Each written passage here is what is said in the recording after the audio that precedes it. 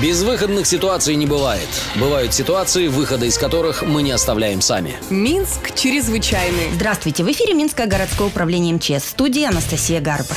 Почти 3000 выездов на пожары и загорания совершили с начала года столичные спасатели. На пожарах за это время погибли 25 человек. Только на минувшей неделе жертвами огня в столице стали четверо.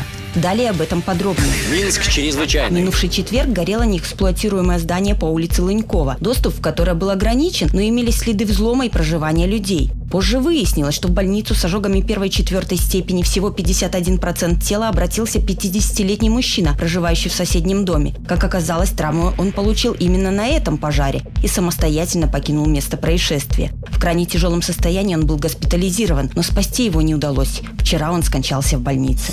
Также на минувшей неделе горела квартира по улице Любимого. Хозяйку бойцы МЧС обнаружили в горящей комнате на полу без сознания. Маски для защиты от дыма понадобились и двум соседкам, но они все же успели надышаться продуктами горения. Всех троих пострадавших увезли в больницу. Также из дома были эвакуированы еще два человека, они не пострадали. Причиной пожара могло стать курение. Минск чрезвычайный. В выходные пожар произошел в доме по улице Мержинского. Горела квартира на четвертом этаже. В пожаре погибла 68-летняя хозяйка, инвалид первой группы по опорно-двигательному аппарату. Причина трагедии устанавливается.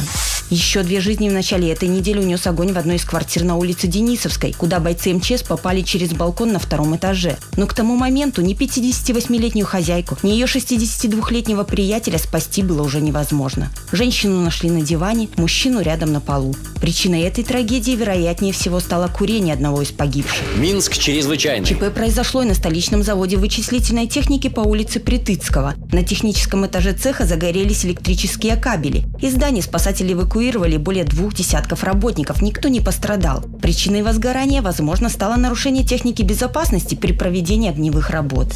На минувшей неделе спасатели дважды приходили на помощь малолетним детям. В квартире на Неманской они помогли достать застрявшую между стеной и радиатором ногу трехлетнего мальчишки, а на улице Русиянова пальцы руки четырехлетней девочки, зажатые в металлической крышке. Призываю всех родителей быть внимательными и не оставлять детей без присмотра.